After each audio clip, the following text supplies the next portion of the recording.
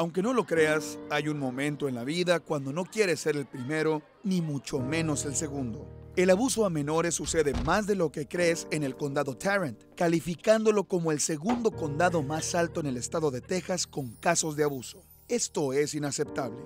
Desde 1992, Alliance for Children del condado de Tarrant ha asistido a más de 50.000 niños y sus familias. Por 25 años, su meta ha sido minimizar el abuso.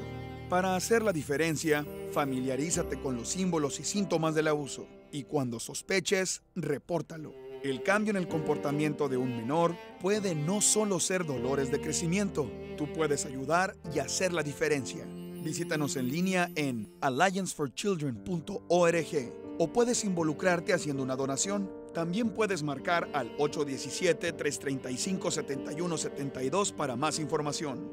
Ayuda a los menores y sus familias a sanar.